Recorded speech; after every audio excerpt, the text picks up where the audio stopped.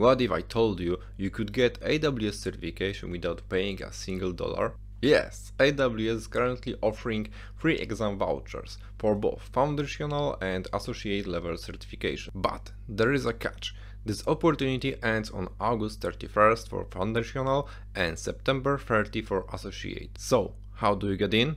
First, join AWS Educate. It's free. Then complete the course and earn your badge. That badge gives you access to the emerging talent community, a space where you learn, grow, collect points just by engaging with learning content. 4500 points gets you a free foundational exam.